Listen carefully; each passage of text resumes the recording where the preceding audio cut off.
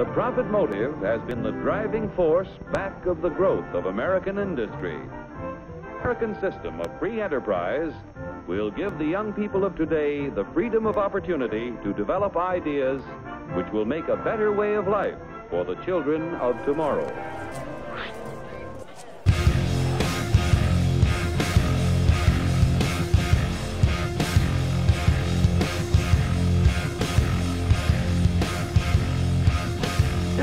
Is Moore, and I uh, work with Socialist Alternative. It's a national organization, and uh, we have uh, three branches here in the Twin Cities.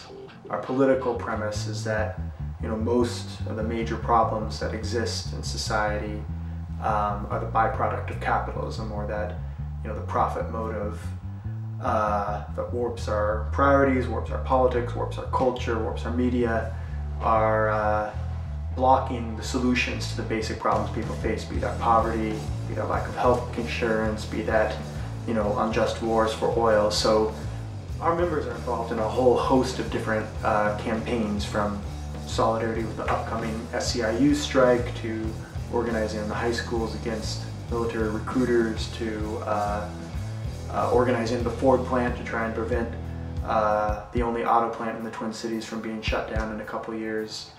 Um, and you know, my job as uh, as a local staff person for the organization is to try and coordinate these work, these different struggles, to offer advice, um, offer solidarity to, to, to our members or to our supporters who are who are working in a lot of different fields. Yeah, our newspaper uh, Justice is uh, put out every couple months, and I play a role on our national editorial board. Um, what Justice does is it provides a socialist analysis of the contemporary problems. So, you know, why was healthcare not passed? You know, what is our position on Obama's healthcare plan? Why is single payer off the table? Uh, why is Obama escalating more troops in Iraq when many people thought he was going to be an anti-war president? And you know, trying to provide a program for activists, uh, working class activists, and young people to uh, be able to fight uh, against the injustices they face every day and they see around them. Um, so we see justice as a, uh, you know, our newspaper as a way to uh, communicate with wider layers of workers and young people, get our ideas out there, but also as, you know, hopefully providing a guide to action um, to people who want to change things. And I think what it comes down to is real change never comes about based on which the two big business parties are in the White House, whether it's a little bit more liberal one, a little bit more conservative one. It comes about who uh, is, you know, active in the streets. We're seeing dramatic changes in the world uh, right now. We're seeing, I think, the U.S. having gone one stage being the biggest creditor nation in the world, the biggest debtor nation in the world.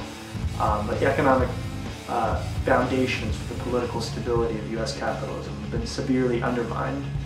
And I think now, really more than any time in U.S. history, there is an opportunity to see a substantial break to the left from the Democratic Party. Well, a lot of people, uh, I think, feel pretty helpless right now. Feel you know they tried to vote for their guy, they've tried to change things that way. They've seen demonstrations uh, against the war, and it seems like nothing changes no matter what you do. But I would just appeal to people to you know have a little bit of a broader view. Look at history again and again and again social movements, ordinary people just like you, have banded together with people just like you and stood up and fought for a change, and it's been achieved. It takes time, it's not easy, but I would appeal, you know, to get involved, to start, you know, reading your history, um, pay attention to politics even when it's demoralizing, um, and most important, find yourself a group of co-thinkers, people who you can, uh, you know, have regular discussions with, find solidarity with, and, uh, and step into the political field. If you're interested, if you like the ideas of socialism or want to explore uh, getting involved in socialist alternative, we are always welcoming new members. Um, have regular meetings each week in St. Paul and Minneapolis. Um, and you can contact us uh, by going to our website, socialistalternative.org.